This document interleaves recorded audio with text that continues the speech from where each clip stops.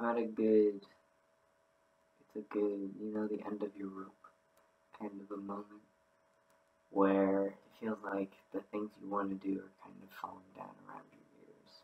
Um, and I got the things I set out that I would try and do, that I would try and make sure happen, happen.